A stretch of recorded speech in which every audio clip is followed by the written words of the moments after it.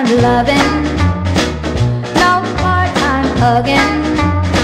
I want a full time sweetheart that won't make me sad. No part time missing, no part time kissing. I Want a full time man.